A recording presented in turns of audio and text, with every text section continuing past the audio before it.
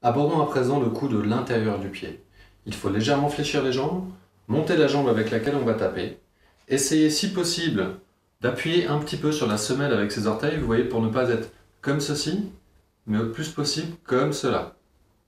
Si vous regardez bien, c'est la différence entre ceci et cela. Une fois que vous êtes dans cette position, vous allez reculer la hanche de la jambe qui frappe afin de vous retrouver avec le pied sous la tête. Pourquoi doit-on reculer la hanche? On recule la hanche pour se retrouver avec le pied à chaque fois sous la tête. Ce qui va me permettre de taper à droite et à gauche consécutivement tout en laissant la balle sur un même axe vertical. Si je ne recule pas la hanche, je ne suis plus sur un axe vertical et donc il va falloir suivre la balle sur cette voûte qui va de droite à gauche. C'est beaucoup plus simple de taper en essayant de toujours laisser la balle sur un même axe vertical. Et vous voyez que de côté,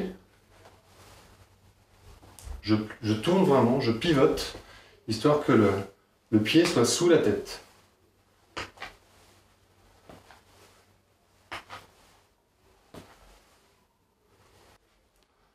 Attention, la hanche et le haut du corps doivent pivoter en même temps que le pied va monter. C'est un mouvement qui se fait vraiment en même temps.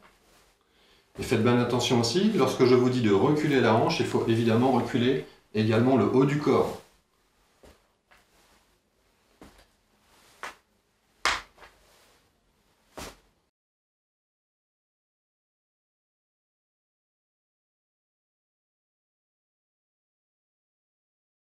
Le coup de l'intérieur du pied est un des coups les plus difficiles à réaliser au début car nous n'avons pas tous la hanche très très souple.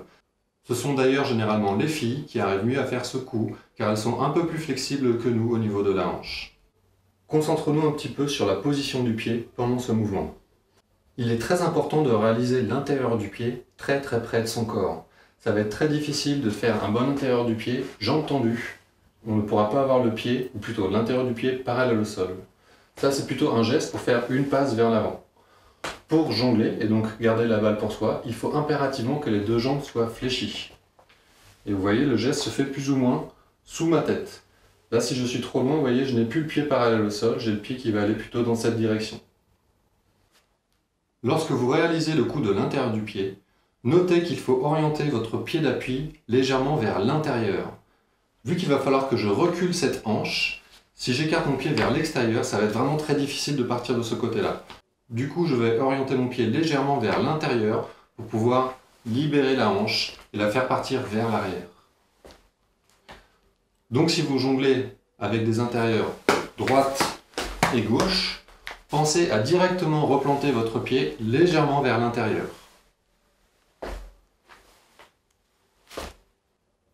Notez que pour l'intérieur du pied, et d'ailleurs pour tous les coups de base du jonglage au pied, plus vous fléchirez vos jambes, plus le mouvement sera facile à réaliser.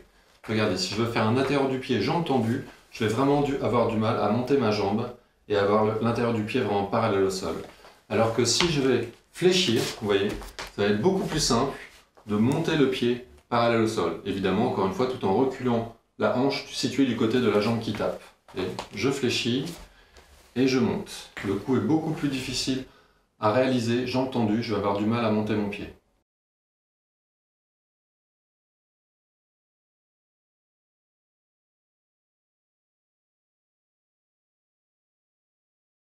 Vous tapez le footback sur votre chaussure pour le coup de l'intérieur du pied?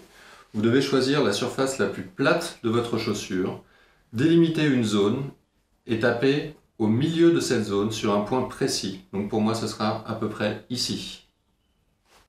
Parlons un petit peu du timing. Quand taper le footbag? Il va falloir taper pas trop haut et pas trop bas. Mais essentiellement, il va falloir le taper au moment où votre pied est parallèle au sol. Vous voyez, généralement, ça se situe plus ou moins au niveau du genou. Si j'essaye de taper plus haut, je risque de me faire un petit peu mal à la hanche. Et si je tape plus bas, ça va être très difficile d'avoir le pied vraiment ou plutôt l'intérieur du pied parallèle au sol. Un petit exercice pour travailler l'équilibre pour l'intérieur du pied, ça consiste tout simplement à prendre la position où on va taper, donc jambes fléchies, la hanche un petit peu reculée pour avoir le pied sous la tête, le pied, ou plutôt l'intérieur du pied parallèle au sol, on va poser la balle et on va essayer de garder la position pendant 5 secondes.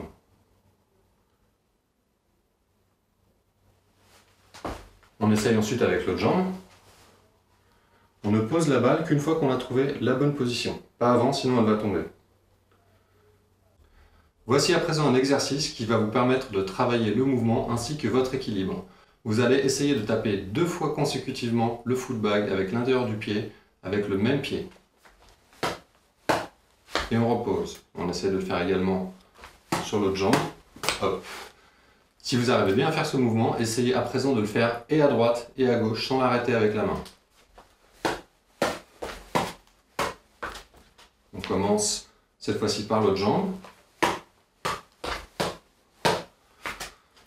Faites cet exercice un maximum de fois et vous verrez que ça vous aidera ensuite à faire le mouvement juste une fois. Voici à présent un bon exercice pour travailler le coup de l'intérieur du pied. On va prendre la position jambe fléchie, on va tendre le bras opposé à la jambe qui va taper, avec la main parallèle au sol. On va essayer de venir taper la main avec l'intérieur de la chaussure et on va essayer de faire en sorte que toute la surface de la chaussure touche la surface de ma main. Hop. Je n'oublie pas de bien reculer la hanche et donc le haut du corps. Vous voyez, là j'ai toute la surface de ma main qui est en contact avec le pied. Si je fais quelque chose comme ça, c'est que mon coup ne sera pas bon. Vous pouvez également travailler sur l'autre jambe. Jambe fléchie, encore une fois, main parallèle au sol, et on monte.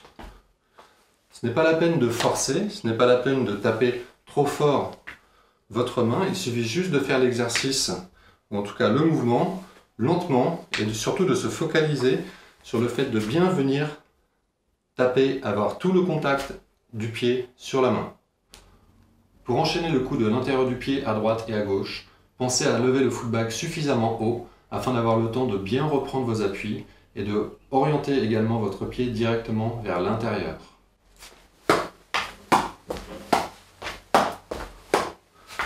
Vous voyez, le footbag monte plus ou moins au niveau de ma poitrine. Voilà tout ce qu'il y à savoir sur le coup de l'intérieur du pied.